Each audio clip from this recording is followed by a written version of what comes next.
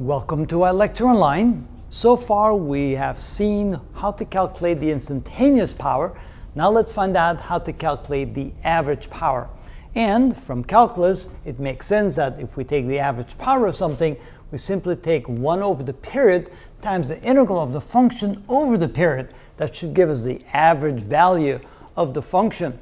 Now for reference, we kept in the equation for the instantaneous power, and what we're going to do now is we're going to take the instantaneous power and integrate over that from 0 to t over a period, and then, of course, divided by t or multiplied times 1 over t to get that average value. Now we're going to separate it into two integrals because we know that when we multiply this times this, we get a constant. And then if we multiply this times this, this is the time varying portion that we'll have to integrate.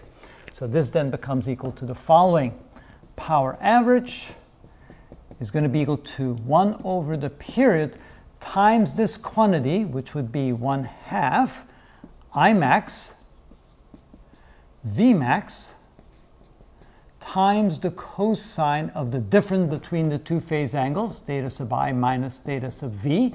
All this is a constant times the integral of what's remaining dt from 0 to t. And then we're going to add to that the, the integral of the second portion, this multiplied times this. Now this is a constant, so we can write 1 over t times 1 half I max V max times the integral of the cosine of 2 omega t plus the two phase angles dt and also we're going to integrate that from 0 to t. All right, now when we integrate the first one, that's easy enough. The integral of dt is t, and then we take the limits from 0 to t. We get the following. So this is equal to 1 over t times 1 half I max V max times the cosine of the difference of the angles, the phase angles, times t evaluated from 0 to t. Of course, when we plug in the lower limit, we get 0. Plug in the upper limit, we get t. And then this t will cancel out with this t, and we'll see what happens the next. And then over here, this is the constant, so this is equal to 1 over t times 1 over 2 I max max. And the integral of the cosine is the sine, but we have the cosine of 2 omega t, which means we need an omega t differential, so we need 1 over 2 omega. I should say 2 omega dt as a differential, so we need 1 over 2 omega times the integral of the cosine of 2 omega t plus theta sub i plus theta sub v times 2 omega dt. So that's why we, in we multiply it here and we divide it over here from 0 to t. Now over here, when we plug in the limits, remember we get a t over here, we have 1 over t over there, so that cancels out, and we end up with 1 half I max V max times the cosine of theta sub i minus theta sub v. And then, oh, that should not be an equal sign, this should be a plus sign. There we go.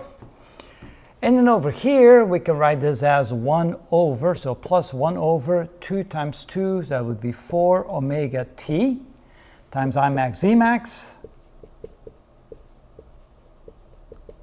times, now when we integrate this, we'll again end up with the sine of 2 omega t plus theta sub i plus theta sub v, evaluated from 0 to t. Now, let's take a look at that integral. If we evaluate it, when we plug in a 0 over here, we end up with sine of the phase angles.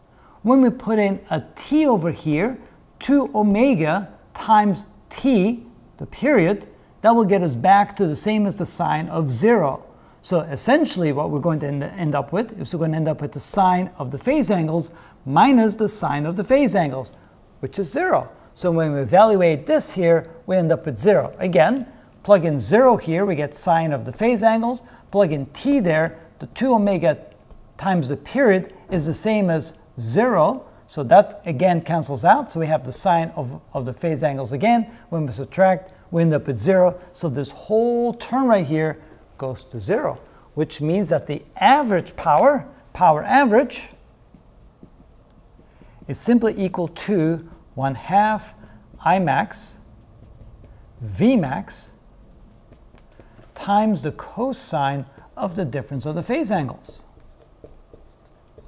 Which, when you take a look at it, is that very first part here, this times this, in our instantaneous power equation.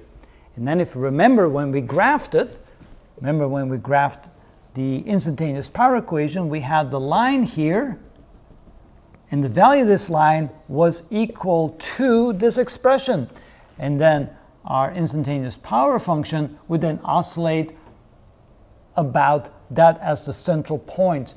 And now you can see how that makes sense, that if this is the instantaneous power graph, and then if we draw a line right down the middle of that, which is equal in value to this expression right here, that will then give us the average power. Because after all, the average of a sine wave is the average value, the, the line that goes right through the middle of the sine wave.